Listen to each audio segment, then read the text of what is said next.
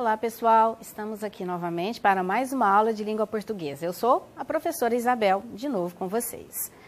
Hoje nós vamos falar sobre regras e instruções, ou seja, a nossa leitura vai ser sobre regras e instruções. Então vamos ver aqui o que, que quer dizer isso, não é? Observem aí, nós temos uma figura. Dá para, assim, pelo se a gente olha de uma vez, às vezes a gente nem percebe o que é, mas na verdade é um bolo. Um bolo que não deu muito certo. Por que será que esse bolo não deu certo? Observe que dá a impressão que ele transbordou na forma e foi para lá no prato. Alguma coisa aconteceu. O que pode ter acontecido com esse bolo? A pessoa que tentou fazê-lo pode ter usado um ingrediente vencido, um ingrediente estragado. Ela pode ter feito a receita, porque vocês sabem, muitas vezes a gente acompanha receitas para fazer algum tipo de alimento. Então, ela, essa receita dela pode ter tido o quê? Falhas de anotação. Ela poderia estar o quê? Errada. E também poderia ser o, o, caso da intensidade de calor errada, né? O forno estar muito quente ou não estar é, na temperatura ideal para que o bolo assasse. Então, observaram? O bolo não deu certo porque algumas coisas não foram feitas corretamente. Que no caso aqui, a receita, ela tem uma instrução, ela precisa ter uma sequência, ela precisa ser seguida. Então vamos lá. Então o que, que vem a ser essas regras e instruções? Gêneros normativos e instrucionais. Norma, ó, normativo instrucional. Norma é diferente do que? De instrução. O que, que vem a ser então a norma?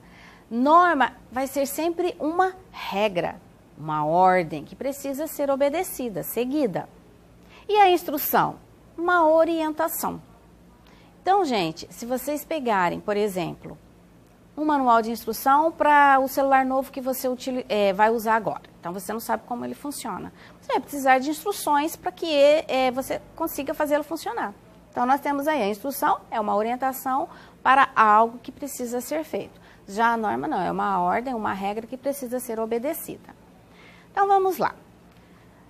Gênero. O gênero, ele engloba o quê? Os seres ou coisas ligados pela semelhança de suas principais características. Então, por exemplo, nós temos o gênero humano. Não gosto desse gênero de filme. Então, muitas vezes, você não gosta de filme de terror. É um gênero de filme. Você não gosta de um, um filme de comédia. Também é um gênero. Ele faz parte lá do, do, do, conjunto dos filmes. Porém, os gêneros são diferentes. E o gênero textual, o que, que vem a ser? Conjunto de textos que possuem as mesmas características, né? características comuns, como assunto, tema, estilo. Por exemplo, se a gente pegar uma notícia, uma reportagem, elas pertencem aí ao mesmo gênero porque elas são semelhantes, mas uma difere da outra em alguns, em algumas, em alguns aspectos. E os textos normativos? Finalidade predominante de estabelecer normas, regras, protocolos e até punições, no caso das leis. Textos instrucionais, que nós já falamos também. Dar instruções e recomendações. Então, esses textos normativos, esses textos instrucionais, eles são agrupados em gêneros, que é o que a gente falou anteriormente, de acordo com a finalidade deles. Então, por exemplo, as leis, os regulamentos, os estatutos, as regras de jogo. Lá no videogame, você está jogando com o teu amigo, tem regras que vocês precisam é, obedecer. Ah lá, receitas culinárias, bulas de remédio. Você vai tomar um remédio por sua conta? Não, você precisa olhar a instrução na bula para saber como que você vai tomar esse remédio. Manuais de instrução, que eu falei também no caso do celular. Instruções de provas e outros. Lembra lá na escola, quando você vai prestar, fazer sua prova, o professor explica como que você vai ter que fazer. como que você vai seguir a ordem correta, né? O que você precisa fazer para fazer a prova certinha. Aí eu coloquei um, uma imagem aqui para vocês entenderem a instrução. Olha lá, nós temos aqui uma receita de chocolate quente, muito cremoso. Aqui a gente coloca ó, as imagens, porque muitas vezes a, a, a imagem ela fala por si. E também a parte escrita. Então, como é que faz o, o, chocolate quente? Lá tem duas xícaras de leite, mais três colheres de chocolate, mais três colheres de açúcar. Aí depois vem como que você vai fazer. Olha lá, acrescente uma colher de canela ao que for batido no liquidificador. Então, vai bater tudo no liquidificador, depois vai colocar no fogo e deixar ficar cremoso. Essa é a instrução do chocolate quente. Mas às vezes nós temos instruções que não tem nada escrito. Só os desenhos, as imagens, é, conseguem mostrar para a gente que é, a maneira de fazer esse, no caso aqui, uma pipa, né? Como se faz uma pipa? Pelas imagens. Então, também é um texto instrucional, apesar dele não ser verbal. E aqui, aqui nós temos um código de trânsito. Já é uma norma, né? Um texto normativo. Aqui estabelece regras que são obrigatórias, que você precisa seguir. Por exemplo, o artigo do Código de Trânsito Brasileiro é, estabelece o quê? Que os condutores de motos, motonetas, ciclomotores, eles precisam utilizar capacete de segurança, viseira e, ou, ou óculos protetores. E também precisam segurar ali no guidão e usar vestuário de proteção. Então, se eles forem pegos sem essas regras cumpridas, eles podem ser punidos. Então vamos lá.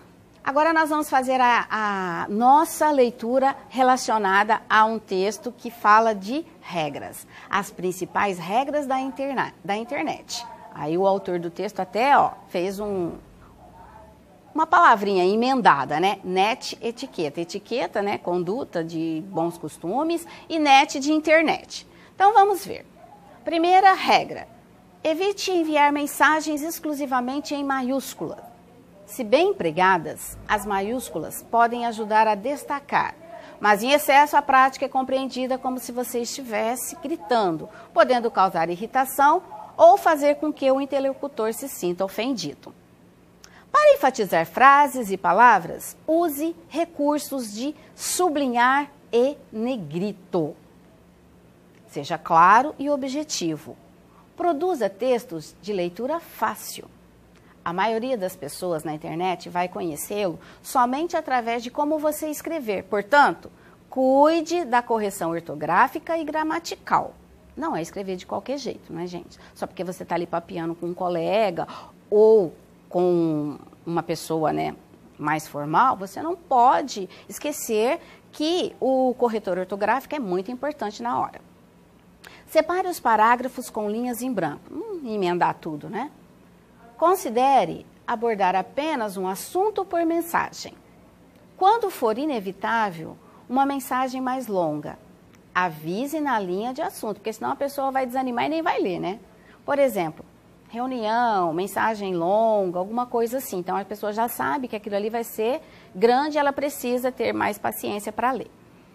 Quando participar de um fórum, não use acentos. Olha, gente, observe que são regras da internet, não são regras de português, hein? Procure responder a todas as mensagens pessoais. Lembre-se de agradecer as pessoas que o ajudarem.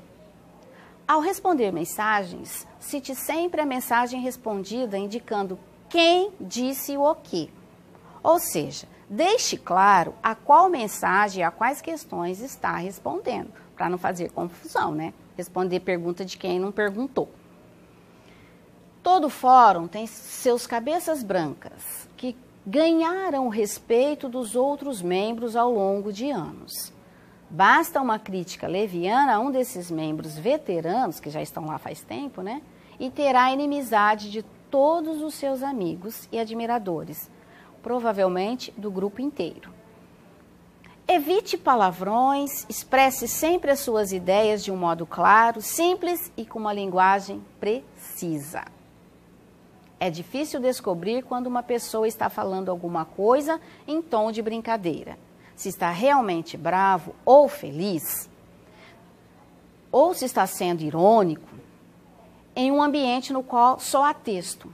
Por isso, entram em cena os smiles, que são essas carinhas aí, para mostrar que aquilo que você está falando ou é engraçado, ou é triste, certo?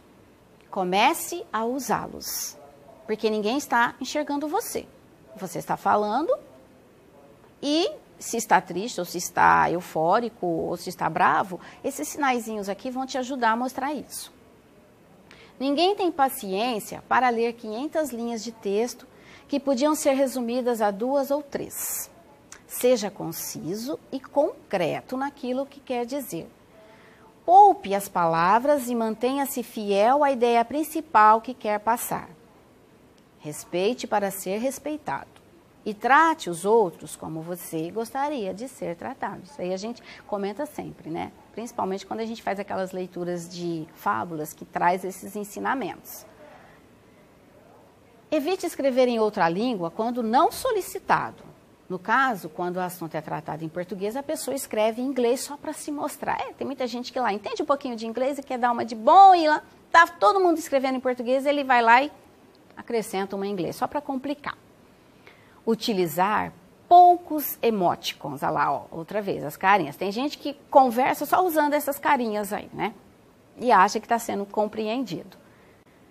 Procure não levar tudo que se vê na internet ou em fóruns de discussão a sério senão você pode passar a aparência de ser uma pessoa chata.